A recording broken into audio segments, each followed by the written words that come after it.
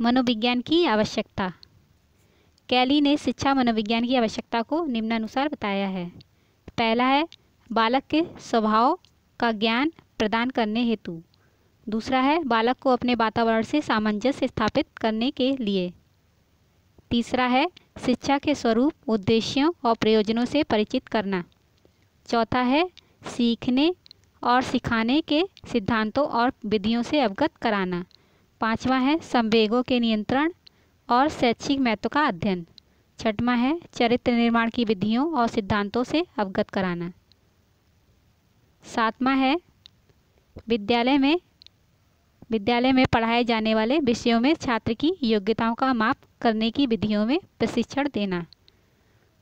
आठवां है, शिक्षा मनोविज्ञान के तथ्यों और सिद्धांतों की जानकारी के लिए प्रयोग की जान, जाने वाली वैज्ञानिक विधियों का ज्ञान प्रदान करना।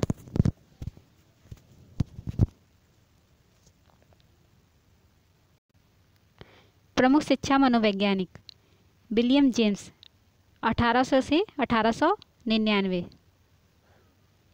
इवान पावलव, अठारह से उन्नीस सौ छत्तीस। जॉन डीवी, अठारह सौ उनसठ से उन्नीस सौ बावन।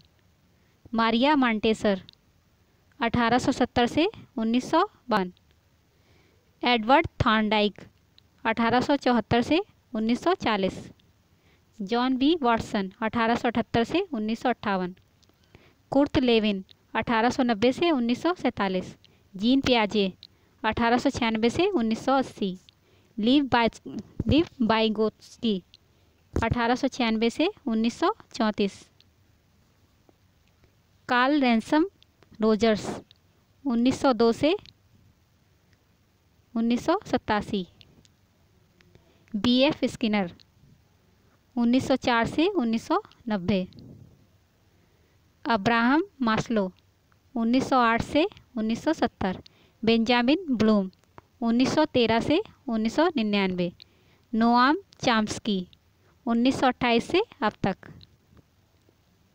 विश्व का प्रथम बुद्धि परीक्षण 1905 में बिने व साइमन द्वारा।